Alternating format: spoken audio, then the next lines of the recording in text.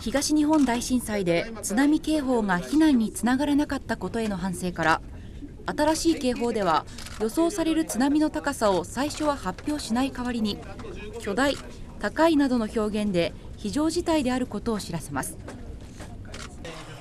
気象庁の職員による警報システムの説明をサンドイッチマンの2人は神妙な面持ちで聞いていました。揺れたら逃げるっていうのは大事ですよね。巨大逃げるっていうことがあの浸透してくれればいいなと東日本大震災の際気仙沼で津波を逃れた経験を持つ2人は新しい警報の普及に意欲を見せていました。速度が遅く